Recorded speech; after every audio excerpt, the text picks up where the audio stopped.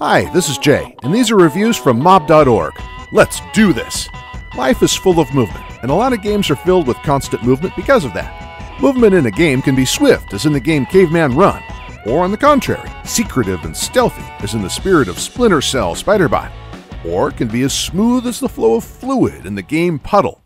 The new runner Caveman Run is a classic arcade game in the spirit of the first Sonic the Hedgehog games.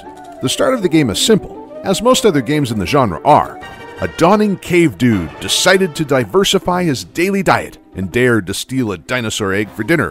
What can I say? There were no supermarkets back then. People survived as they could. Our hero will dodge various obstacles and enemies while collecting chips on his way. As time goes by, you'll be able to spend the accumulated balls for a variety of bonuses to facilitate the gameplay, though you will also be able to collect them during the run as well. Control in Caveman Run is maintained through the use of two keys, jump and rush, with which you can overcome gaps in a straight line and shoot down any enemies that get in your way. In addition to traditional genres, we're also pleased with some of the bold new ideas in the indie games area. For example, our next guest for today is a physics based puzzle named Puddle. Here you are to control not an abstract hero, but a simple puddle of liquid like water or oil. So the task is to direct an amount of fluid from point A to point B with the least amount of liquid loss possible, while taking into consideration gravity, the force of friction, and any fluidity characteristics of the substance. Are you scared yet? No? Thirsty then? Well, I sure am. Ah, that's better.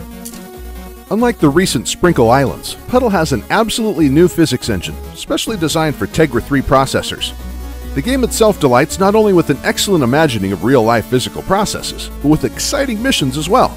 E.g., in one of the tasks, you're to move freezing water along some wires, or control the flow of glycerin in a scientific laboratory. Though the most original adventures of liquids are the ones in technical drawings, and even inside the human body. Uh oh, now I think I have to pee. And last but not least, I introduce you to Splinter Cell Spiderbot. On the threshold of releasing the next part of Sam Fisher's adventures, Ubisoft decided to slightly widen the limits of the original universe and released a game about one of the hero's gadgets, Spiderbot.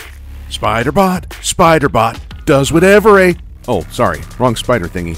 This game possesses three independent modes Stealthbot, Spiderbot, and Strikebot. Let's examine them in detail. The objective of the basic mode, named Stealthbot, is to sneak into this secret laboratory and steal a crystal.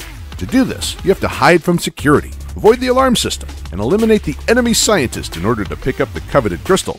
Spiderbot mode has a more arcade feel, in which you are to collect crystals scattered about the level while avoiding the security bots. An interesting feature of this mode is that the points obtained there can be transferred to Splinter Cell Blacklist. That is, if that sort of thing interests you, then be my guest. And finally, the third mode, Strikebot. It's all about shooting at enemies and using various other means for their elimination. Well, there you have it. That's all for today. If you like this, then download it. Put like on everything you can find. I like this review. I like kittens. Meow. Subscribe to the channel and join the group. There are tons of interesting things there. This was Jay with a review from mob.org. See you soon.